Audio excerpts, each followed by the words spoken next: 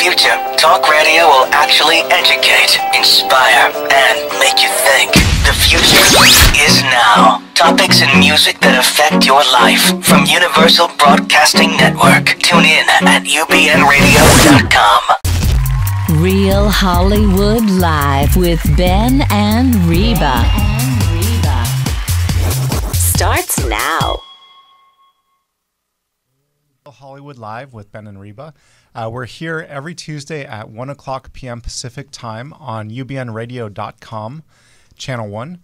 And, uh, well, I guess uh, before we get started, there's a couple things. We definitely would like to thank our sponsors, uh, Conund- Conundrum Red and Conundrum White. Uh, great wines. You can solve most anything. We have, we have to toast. As dealing Cheers. with a co-host, I can solve it with a wine. Yeah, exactly. Oh, I forgot to drink. Sorry. Oh, yeah, yeah. It's bad luck. Oh, okay. Okay, so we also have Barkeeper in Silver Lake, uh, Film Festival Flix, and uh, Nearly Famous Tales from the Hollywood Trenches. That's me. Yeah, do this weekend. I saw four movies at the Academy. And actually, I felt that summer had finally arrived because they were really good. I thought it was because it was 97 degrees out. No, because I saw Love and Mercy, uh, which is all about uh, the Beach Boys, and Brian Wilson was at the Q and A, and the best question that he answered was, "What did you think of the movie?" And he said, "I really liked it. I saw it five times." wow. That, that, that, that is a testament. okay, but the, be- the the most fun I had was Spy with with Melissa McCarthy. I mean, I I really, if you're down, and you're really just want to forget, There's a funny movie. And then I saw from Pixar Inside Out, which has an open jet, and I got to tell you something. If you have kids, this is the most amazing thing. It's beautiful. The the stuff goes over their head, but the, the message they're going to get for those eight year olds and nine year olds about the power of emotion um, is just unbelievable. And then I saw a documentary on Nina Simone. And I spoke to the documentary maker and invited her to the show, and she said, I live in New York. Well, that's. Wait, let me tell you what I said to her. I said, Okay. Well, when you have Oscar consideration, come to the show because they're running that documentary Mm-hmm. um, June 23rd for just a short time so it will qualify for the Oscars. Now, that's what I did. I won't ask you what you did, or should I? No, no. My, my, my weekend was, uh, you know, uneventful. Family having barbecues with celebrity trainers and celebrity dietitians. So you can imagine how comfortable I felt at the pool party. I was going to say, did anybody eat? Yes, undercover.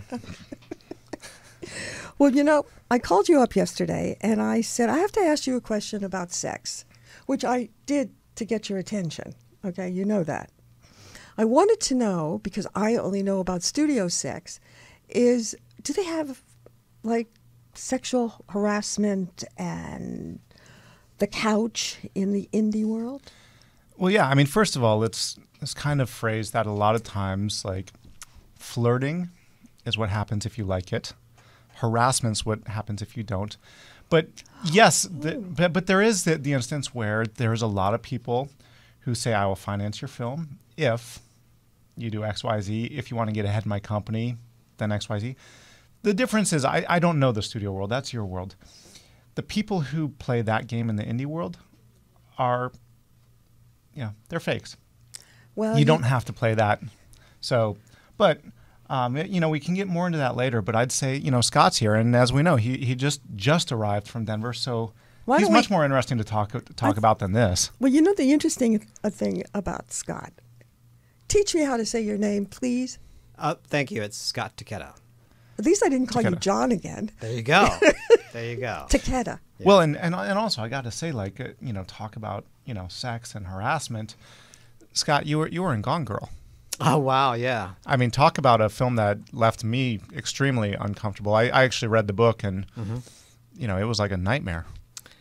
Yeah, there it's uh, it's uh, it's a wild roller coaster of a ride. That entire film, and the book as well too. Um, so uh, and, it, and it was uh, a real um, thrill to be kind of a part of it. You know, David Fincher obviously directed that, and um, it's you know it's about manipulation and the relationship between a, a husband and wife, and is what what is actually real and what actually goes on behind closed doors. I'm very curious on the set because it is a tense movie. Did you all feel that tension? Or were you just all, you know, acting for that moment in the scene, dropping it and going away? I just felt sorry for the men in the film. Oh. How easy they can be manipulated. Sure. It's so true in real Yeah. life. Oh, I didn't Oh, mean to- well, yeah, well, uh, yeah, who knows? Uh, you know, um, for my, you know, I think there was uh, about hundred days of shooting. Uh, I was there for two of those days. Um, I I didn't really sense a lot of tension on the set. I mean, there was certainly tension as far as, well, it needed to be kind of a tense scene as we were observing the fact that, uh, you know, um, that. Uh, you know the, the girlfriend has gone live and is, is is doing a press conference and kind of blowing the whole idea that you know uh, Nick was going to be uh, having an exclusive interview. Um, so that part, you know, you needed to obviously be an actor and be true to what what what the story was. But I didn't necessarily feel tension on the set otherwise. Well, you started out in Pocatello, Idaho. Oh wow, yeah. I'm very impressed. Yeah. And, but you're an on-air uh, reporter, um, which Mm-hmm. I salute you because that's not an easy job. So I can understand breaking in in Pocatello. I broke in in Phoenix. Phoenix a long Mm-hmm. Oh, time ago was a smaller market than it is today. Sure. So how in the world did you end up from Pocatello to Hollywood? Ah, yeah, that's a good question. Um, you know, I, I, I, started out with at uh, KIDK News 3 uh, in uh, Pocatello slash Idaho Falls. It's a hyphenated market. Um, and, you know, because I, I really had no initial desire or dream to to be on camera as far as through narrative films, you know, television, film in Hollywood of sorts. I kind of wanted to, to be a journalist, and, and I think through the the process of being very very young looking, you know, it, it um, the only way to advance through television at that time is to, to jump from market to market, and I just looked too young. I I, I was mistaken uh, for a high school student uh, many times. Uh, so I went behind the camera, and I think I, I missed being able to tell stories in front of the camera. So that started kind of planting a seed for me, and eventually, um, you know, I just decided to take uh, some acting classes and then got an agent. So you weren't like one of these kids doing all the school plays. Acting came late. Acting kind of started cam- uh, coming a little bit late. I can actually remember, um, I think it was third grade, uh, our teacher handed out a play. And um, I was so enamored with the idea of acting. I actually had memorized the, all the parts, and at one point was at home, you know, playing all the parts. And so I think that was kind of a, a little bit of a of an idea that this somehow, some way, could be a way to earn a living. Um, and and uh, but uh, no, it, it then it stayed fairly dormant for a while. Well, actually, earning a living as an actor doesn't have to be a profitable, profitable situation. Uh, there are more actors earning less money, and then we see a few at the top. Exactly. So why be so brave? I mean, you're a working actor. You're what everybody in Hollywood wants to be who isn't. Is that you do go from film to film. You don't have to work every single day, but you can earn a decent living working. Yeah. Um, s- slight correction. I mean, I don't earn hundred percent of uh, my income strictly in, in, in front of the camera. Uh, I still uh, earn a living behind the camera as a director. So um, when I, I do tend to go from set to set to set, but sometimes I'm in front of the camera and sometimes I'm behind the camera. So Yep. So wait, And- wait, and wait, let wait, wait, wait, wait. I just have to pick up when you're in front of the camera Sure. and you're the dir- and you're really in your other mode. Do you second guess the director who's directing you for that moment? Not if their name is David Fincher. No, not at a. No, no. I'm, I'm just like, you know, actually, what I do, like when I'm on set, a lot of times when I'm in front of the camera, is I just love being on set. So if I don't have to be in my, in, in the trailer, um, and if they'll allow me just to be on set, and I'll, it's like I will be uh, quiet as a mouse, and just to watch how another director runs a set, it's really fascinating to to learn. Um, learn how they like to tell a story, learn how they how they like to run a crew. um, for me, that's that's a, that's a great thrill. I was actually on set yesterday for a commercial, and just to watch the directors and how they kind of ran things, it's like, oh, I that was I learned a lot. So, uh, two questions. Uh, between projects, uh, how do you fill your time? Do you take acting classes? Do you teach? Do you do research? Do you just sit back and enjoy enjoy the world? um, yes to kind of all of the above. Um, you know, there's actually not a lot of downtime for me. Um, so I happen to be, I, I, you know, fairly fortunate in the fact that, um, you know, I think it's actually an actor's job, quite truthfully, to be auditioning. So, you know, when you're lucky enough to book and actually to get in front of the camera and work, that's great. But you know, it's a numbers game, so you're constantly auditioning. Uh, I, I, I feel very fortunate that I have a lot of very good coaches. So I am in workshop whenever I can, uh, trying to keep uh, everything sharp. I, I must spend probably three hours a day on IMDb researching things. You know, either an audition comes in, or I'll see kind of a trend, or I'll read something in Variety. It's like, oh, what about that? And you know, you're kind of researching stuff. Um, and then you know um, we're all kind of independent contractors, so it's it's always about marketing. It's always about getting your your name out there. It's always about meeting people. So it's kind of a never-ending process. And when I'm not doing this, I'm also a photographer. So got an art show coming up in Croatia that I'm getting ready for. Incredible. How, how do you switch on and off with your mind? That's it. It's a lot of. They're all artistic, but they're three very, very different things. They are different, but they're all at a certain point. They all are about visual storytelling. You know, it's either you're telling a story um, through performance and emotion in front of the camera, or it's it's telling a story with a singular image as a photographer, or it's telling stories with 24 frames in a second. Uh, so it's all kind of based a little bit around visual storytelling. In today's Hollywood, and mm-hmm. how are you cast? Are you cast as an agent or are you cast as an actor who speaks English with an American accent? Uh, that's a great question. I, have I've kind of come up with the idea that I'm I'm kind of the, the Asian everyman. Uh, I I've been very fortunate that when they are looking for someone who is more ethnic, I can channel my grandfather and uh, bring up a uh, Japanese uh, accent. But um, you know, other than that, uh, it's I, I, do have this. I'm kind of imbued with this. I've been around for a while, and uh, I it's I like to joke that I'm a banana. I'm I'm yellow on the outside but white on the inside, and so, you know, when you're a lot of times the roles I get, I just I just book Grimm and you know the character's name is Mr. Adams. They don't even change the last name. I don't know how many roles that I have, but they don't even change the last name. So I think I just kind of have this guy you know who happens to be Asian. So is and is being a banana is that kind of like the the healthier version of the old uh, moniker of being a Twinkie?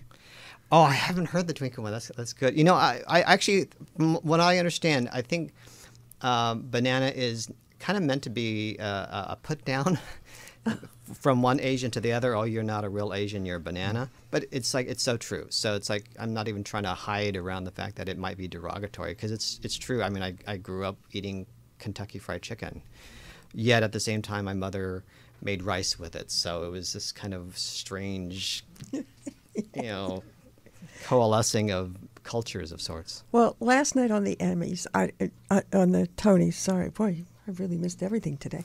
Um, Ken Watanabe. Oh, I can't even see Watanabe, his, I think. Yeah. Watanabe. Thank you. But stay here and just interpret. It's okay. Stay, stay, tuned for next week when we bring in Red Bull. oh boy, that'll be fun. Yeah. Can you sing and dance? Because you know, shave your head, you're in. Oh my gosh, yeah. Um, I would. Uh, I used to be able to sing. I, I went through uh, high school in choir, uh, but actually I play more the trumpet. So even last night I was playing trumpet uh, with a community band that uh, where I live. So I'm much more familiar with reading music from an instrumental perspective. Um, for those but of what would happen if they called you and asked you to audition for The King and I, which is going to come out? It's going to go since it won. Mm-hmm. It's going to go out on, on a tour. Yeah. I just wanted to prepare you. And Th- thank you. I actually was asked to audition for that. Um, was not not the, not Ken's role. Um, you, you know, I, I I certainly read music. Okay. So I I could. Um, and I sing a really heck of a tune in the shower. So I sound amazing in the shower. So, uh, but no, I, I, I I at least read music. Well, and I, I don't know if it was true, but I was told by an opera singer once that Pavarotti did not actually know how to read music, which is why he only sang in Italian. Oh, Um, he just happened to have the voice of an angel, but sure. so as long as you can hear and understand and repeat, Yes. maybe you don't have to know music. And as far as the dancing goes, uh, wow, we'll we'll see. Um, a bit of It's a, it's a great thing. It's called choreography. Oh, They- there you go. They, they tell you where to go and which There beats you to go. hit. Thank you. you know, I was very curious, um, and I I'm just going to put it out there because I think people are fascinated when they get to talk to an actor. Is how do you deal with the bottom side of acting, like rejection? And I I I, I want to ask it two ways. Let me ask it the first way. Oh, Yeah. How do you deal with rejection? we, we, We've got red. you came in so have late, we didn't get you a wine glass, but we'll take care of it. okay, right. 'Cause Exactly. I- What's your conundrum? Is it meaty or fishy? There you go. is that you were in um, Fair Game, Mm-hmm.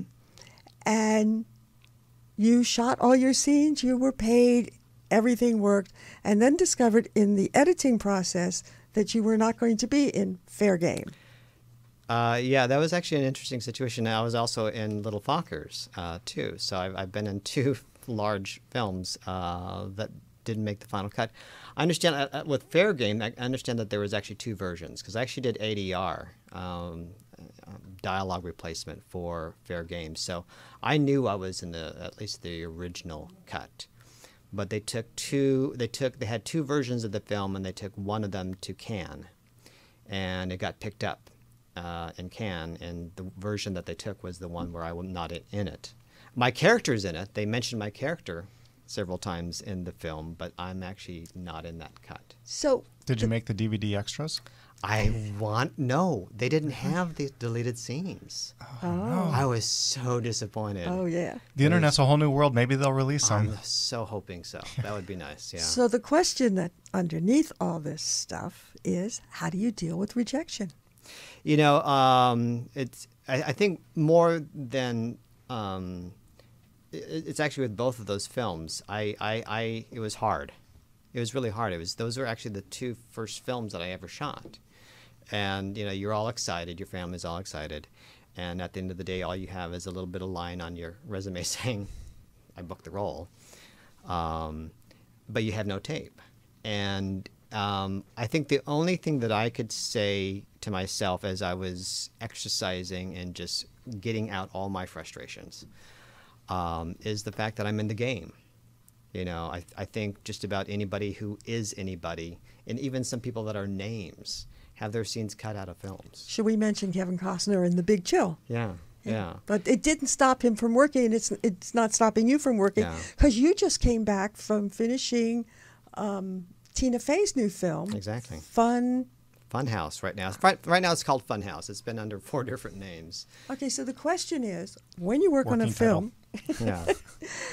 with somebody like Tina Fey, is between the scenes fun? Is there a lighter touch on a set like that because it is a comedy and because you're working with a great comedian, or is it film as um, movie day as movie day we're shooting? You know, it was it was a it was a lighter set.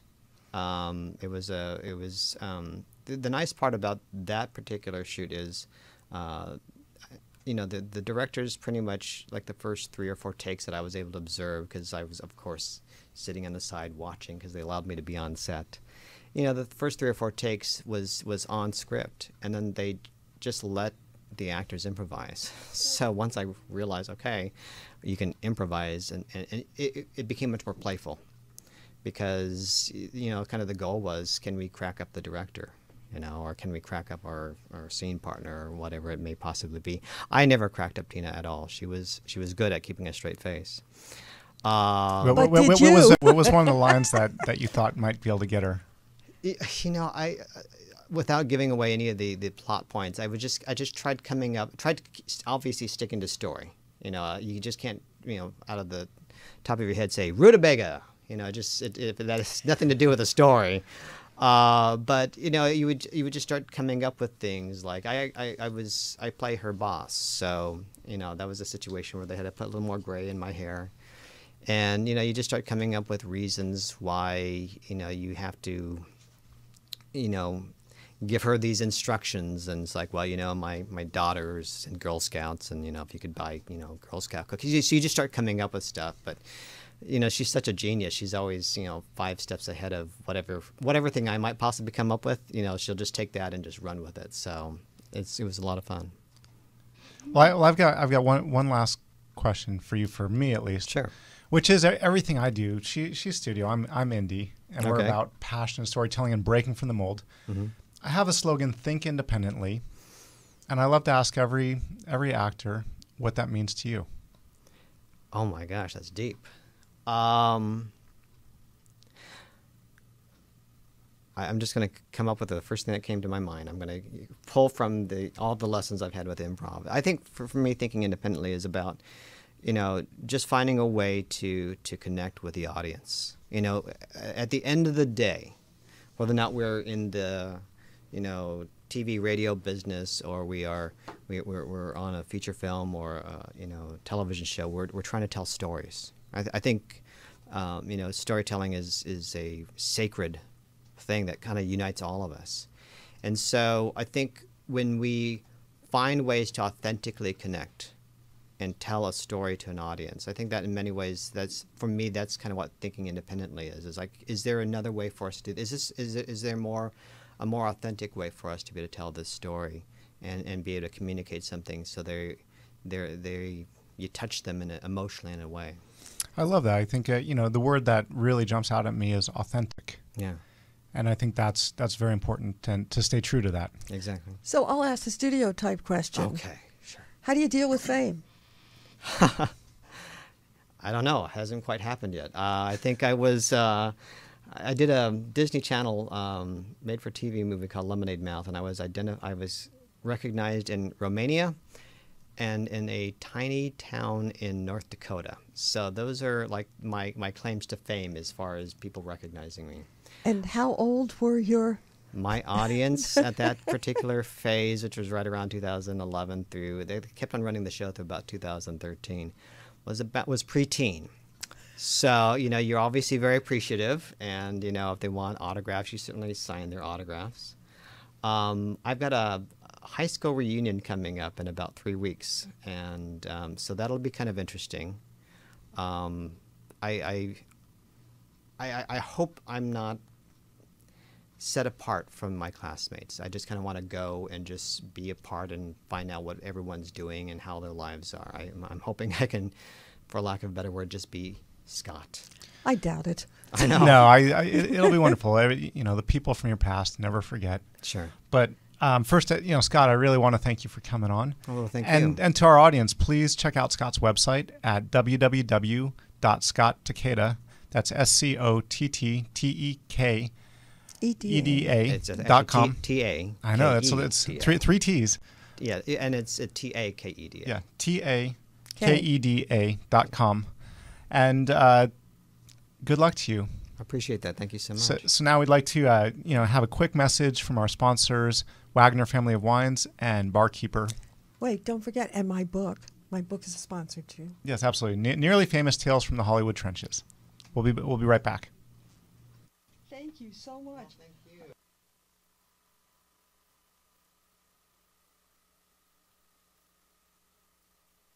Conundrum has been turning winemaking on its head for 25 years. Conundrum White is the original white wine blend from California. Pair this exotic, versatile wine with everything from Asian cuisine to tacos. Conundrum Red is rich, full flavored, and balanced, the perfect complement to dishes like pasta pomodoro, fajitas, and barbecue. Drink it slightly chilled, perfect for summer. You'll find Conundrum red and white wines at your favorite restaurants, wine shops, or supermarket. Go to WagnerFamilyOfWine.com. Again, that's WagnerFamilyOfWine.com. Find your wine, find your adventure. Nearly famous Tales from the Hollywood Trenches is Reba Merrill's intriguing look at hidden Hollywood. Find out what movie stars are really like in this behind the scenes Hollywood tell all. The story of Reba's extraordinary life interwoven with an insider's look at achieving fame and success in the entertainment industry. A must read. Buy Nearly Famous Tales from the Hollywood Trenches at rebamerrill.com, amazon.com, or ask for it at fine bookstores. Nearly Famous Tales from the Hollywood Trenches. You'll love it. Barkeeper in Silver Lake has the finest cocktail shakers and vintage glassware and barware from the mid-century to new. And let's not forget about Barkeeper's unique spirits, 150 different kinds of bitters, and their unique gifts. In fact, Barkeeper provided a lot of the vintage barware for Mad Men. BarkeeperSilverLake.com. Don't wait to visit their store or their website at BarkeeperSilverLake.com. It's your very own Barkeeper catalog for unique gifts.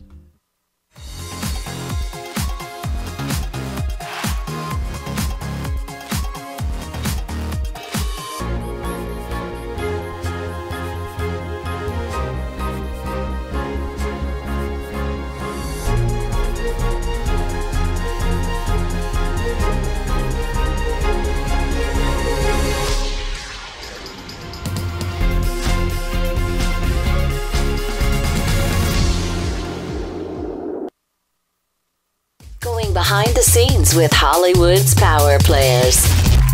Reel Hollywood Live with Ben and Reba. Starts now. Hi, welcome back to Reel Hollywood Live with Ben and Reba. We're here now talking with Herbie J. Pilato, who's an author, producer, and actually knows more about Hollywood. than I do. Yes. I was really impressed reading all your bios and all the films you've done. Thank you. But you started out as an actor and you look like an actor. Oh, is that good? Yeah, I think it's in Hollywood you have to ask that question. Is that good? It opens doors. Yeah. I, well, I started acting uh, back in, in Rochester, New York, my hometown, and then um, I came to Los Angeles at UCLA, uh, studied TV and film there, and uh, that's when I became really more interested um, in the behind the scenes aspects for some reason, because I studied directing too. And then when I went to NBC as a page in the 80s, then I really got interested in the behind the scenes stuff. So. Well, in doing the behind the scenes stuff, you've researched and written a lot of books. And one of the things that if you're going to write about Hollywood, you have to, you cannot ignore fame, whether it's good for you or whether it hurts. I Yeah. and I thought maybe you could give me your take on some of these people that you've written books about. Yes. Had did fame destroy them, or at least not give them what they expected? Well, you know, um, well, you know, let's face it, celebrities are not regular people. You know, they're just not. You know, whatever issues that the rest of us all have, you know, they're those issues that they have are exacerbated, you know, a million times. So it's not as though they have more problems or issues than the regular person. It's just that whatever issues they have are out in front of everybody else. So they have to deal not only with you know the regular things that all the rest of us have to do in our regular jobs but then they have to deal with everything else that goes along with it But there is a flip side. What happens when they lose it? Can they handle life on life's terms? well prime example i guess is elizabeth montgomery who i did several books on you know the biography twitch upon a star and then i did her encyclopedia the essential elizabeth montgomery she was a wonderful person she she truly was she was a rare um, a unique individual in the Hollywood scene. Her parents were Robert Montgomery, actor, and and uh, Elizabeth Allen, a Broadway actress. She was raised in uh, Manhattan, Beverly Hills, whatever. But she didn't. She wasn't affected by the Hollywood scene, which I found very amazing. And she took that down to earth personality that she had, and she transferred it to Samantha on Bewitched, and that's why I think we all loved her. Um, so she worked against the Hollywood thing. She didn't play the Hollywood game. You know, she was nominated several times for Bewitched and then for A Case of Rape, which was her monumental uh, TV movie from '74, and then The Legend of Lizzie Borden, which uh, is celebrating the 40th anniversary of its debut this year. Um, but she was nominated, but she never won. And I think, and partially because she never won, is because she didn't go to the Hollywood parties. I was going to say, And, you you know, know, something. schmooze. There really is something to the Hollywood game. Yeah. I mean, wh- whether we want to talk about it or, or we want to pretend it isn't there. But you saw last year for the Oscars, they went to everything. Mm-hmm. And it's already started. I'm an Oscar voter. I am now doing the, the screenings. These are just for movies being released. Right. Three out of the four films that I saw this weekend had the stars Mm-hmm. or the director. And it's appearing before the Academy audience. I mean, last year out came Clint Eastwood for his film. Uh, it just so happens this past weekend I did see uh, Love and Mercy, and Brian Williams was there, and the audience stood up and applauded. Well, let me tell you something. The studio that's releasing it is going to take note of the response and plan their marketing and publicity off of that. I was there. I saw that film. You saw that? that that night. Yeah. Oh, you were at the Academy too? Yeah, Okay, yeah, so you yeah. saw the game. Yeah, yeah. Well, you know, not that there's anything wrong with that, but it's it's what it's. Every business does that, whether it's Hollywood or whether it's you're an accountant in a big firm. It's you know, it's it's networking and and politics and and everything. If you have talent, you know, which Elizabeth Montgomery did, then that's great.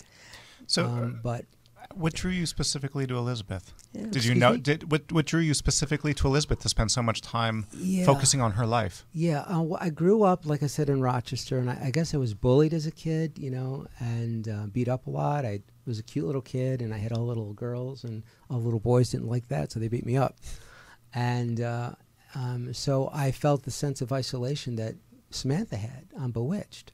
And the show was about prejudice to me in many ways, and many minorities are attracted to the show over the years.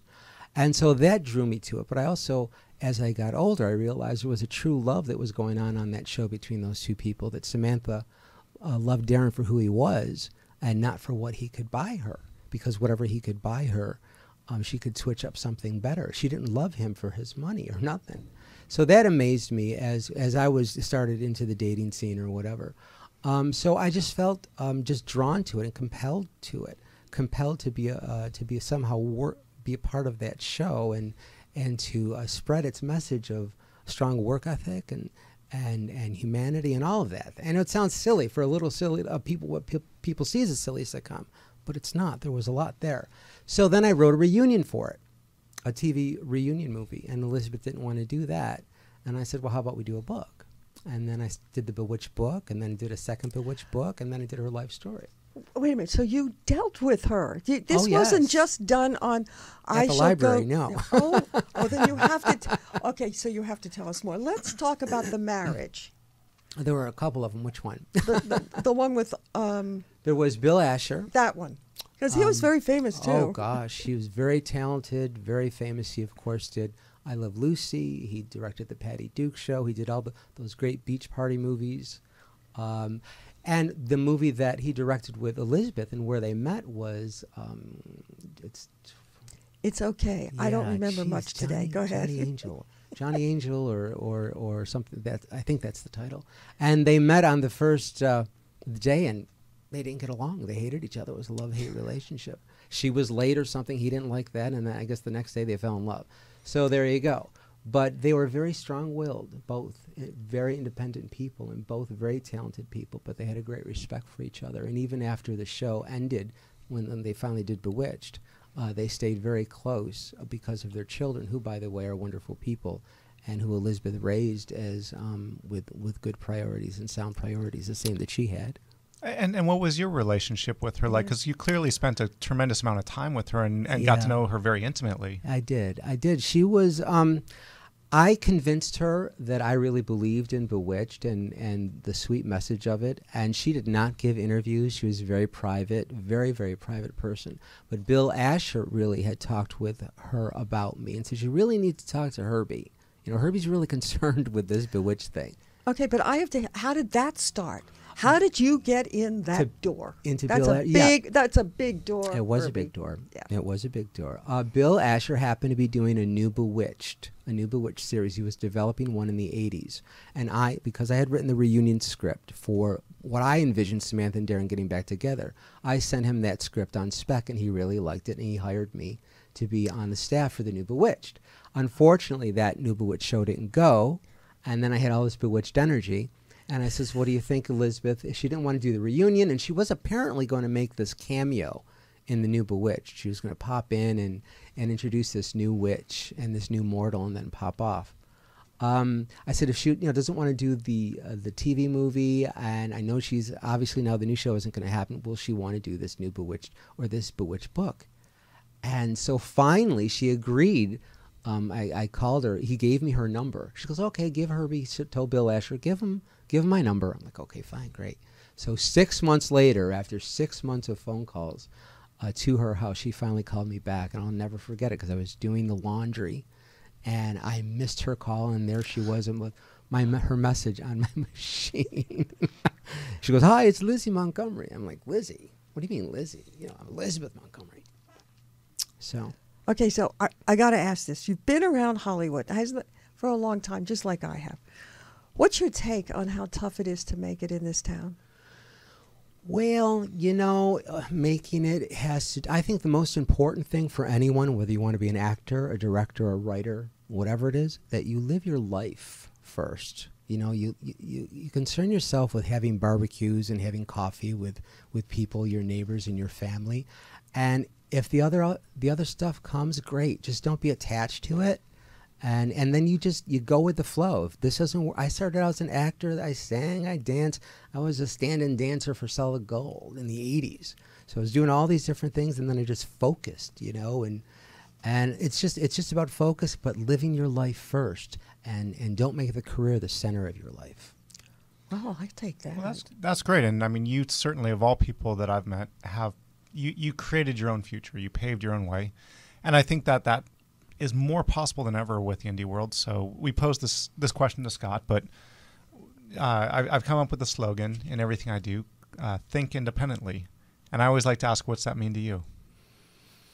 Well, you know, we all care what other people think, and I think we should, you know. But if it's going to devastate you, uh, what the public opinion is, or what your your friends think of you, or what your family thinks of you, it's not good. So you just have to have a strong sense of self, and a very strong faith in whatever, however you choose to call God, as long as it's good. Uh, and and I think you'll be all right, you know. But you have to have those other things in your life. You have to have some kind of spiritual sense, some kind of life beyond Hollywood or whatever, and and just you know do good and be kind. I mean, it's to me that's that's what independence is is is knowing that you're a good person and you're not out to hurt anyone, and just uh, move forward joyfully in all you do.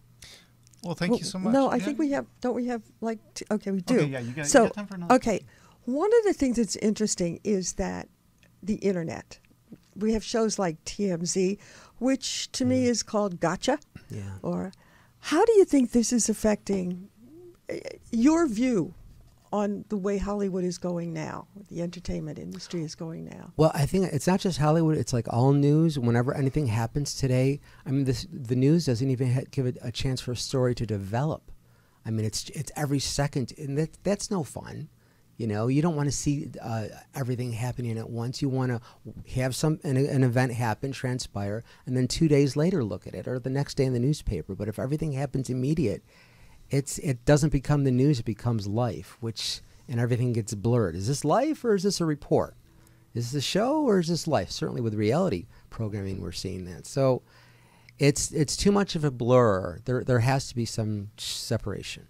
Well, let me ask you something. You're fascinating, you know, and and you you you played in a sandbox that very few of us get an opportunity to play in. Obviously, you knew her well enough, or she was comfortable with you, Yes. that Elizabeth Montgomery would say, "Hi, Liz, I'm Lizzie." It's true.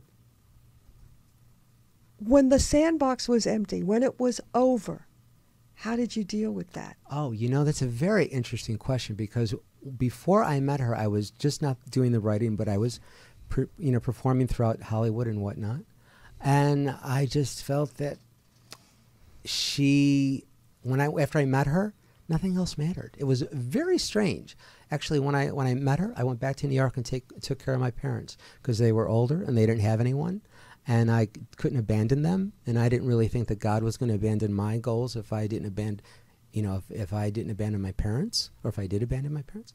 So I I lost all my objectives and goals. It was very, very strange, and it took me years to to really come back. But had I not lose that uh, lost those goals, I don't know if I would have cared for my parents the way I did, and I don't know if the work that I'm doing now would have been as good. I think had it not been because I was caring for my parents and I became a different person.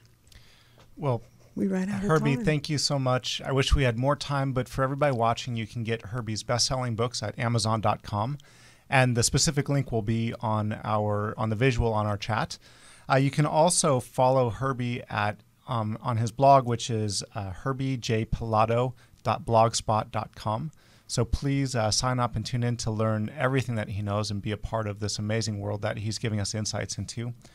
And uh, we'll be right back. Uh, but first, once again, I'd like to thank our awesome sponsors Wagner Family of Wines, Barkeeper, Nearly Famous Tales from the Hollywood Trenches, That's me. and Film Festival Flix. We'll be right back.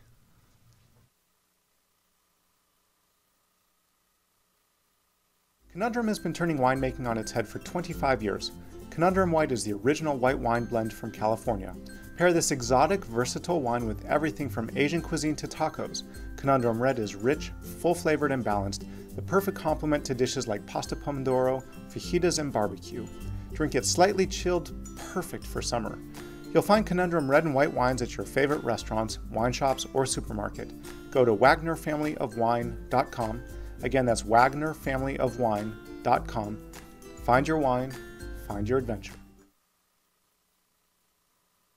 Nearly Famous Tales from the Hollywood Trenches is Reba Merrill's intriguing look at hidden Hollywood. Find out what movie stars are really like in this behind the scenes Hollywood tell all. The story of Reba's extraordinary life interwoven with an insider's look at achieving fame and success in the entertainment industry. A must read.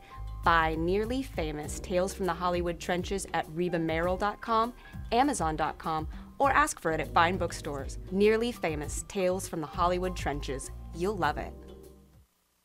Barkeeper in Silver Lake has the finest cocktail shakers and vintage glassware and barware from the mid-century to new. And let's not forget about Barkeeper's unique spirits, 150 different kinds of bitters, and their unique gifts. In fact, Barkeeper provided a lot of the vintage barware for Mad Men. BarkeeperSilverLake.com. Don't wait to visit their store or their website at BarkeeperSilverLake.com. It's your very own Barkeeper catalog for unique gifts.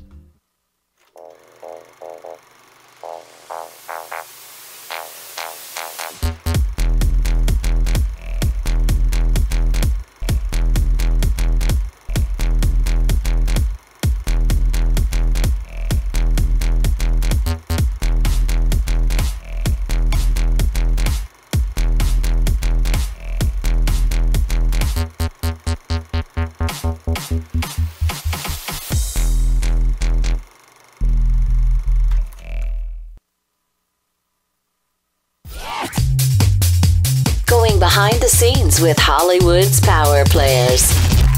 Reel Hollywood Live with Ben and Reba.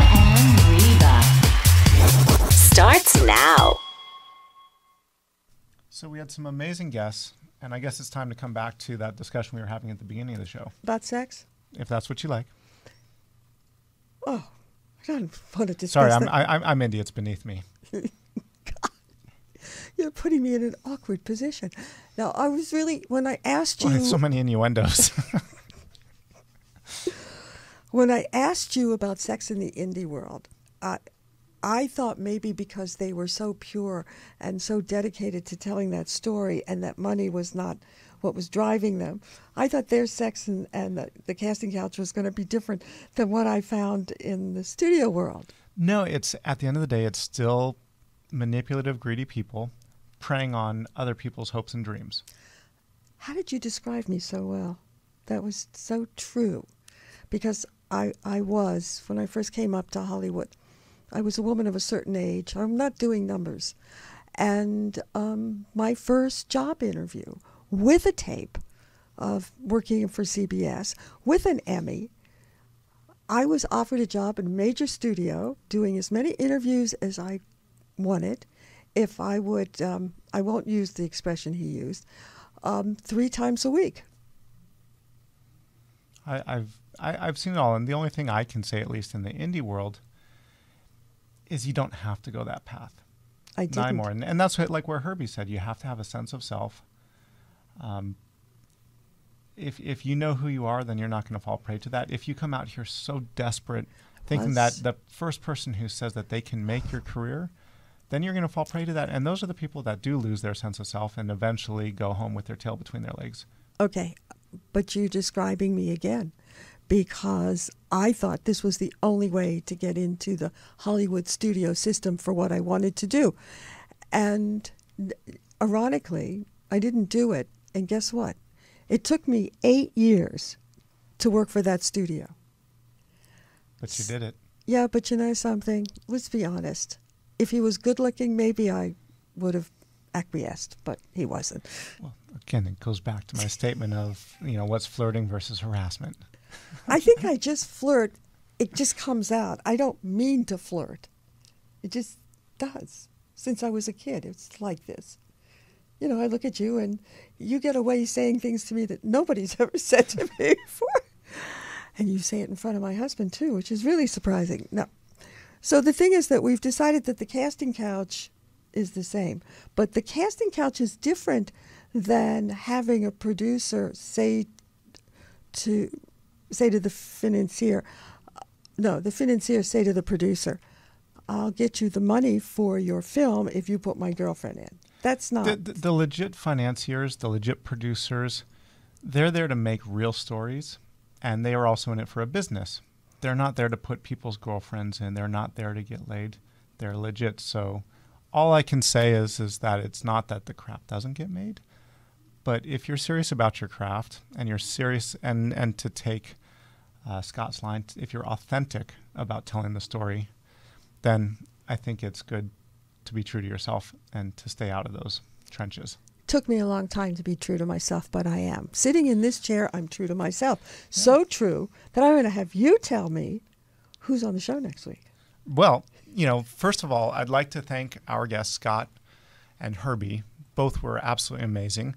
And I'd also like to thank our awesome sponsors, Wagner Family of Wines, Barkeeper Silver Lake, uh, Nearly Famous, Tales from the Hollywood Trenches, Me. and Film Festival Flix.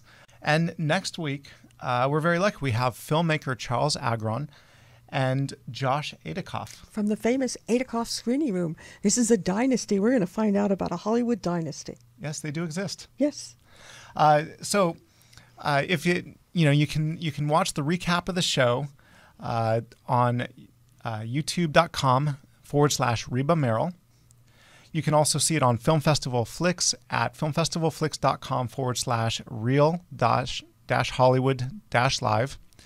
And you can download the podcast of the Reel Hollywood Live with Ben and Reba uh, page from ubnradio.com as well as iTunes. We're on Channel 1. That's right. So tune in next week. We're here every Tuesday uh, at 1 p.m. Pacific time at ubnradio.com, channel 1. And you know what? I get to say the most important words on any film set. That's a wrap. Perfect. Reel Hollywood Live with Ben and Reba.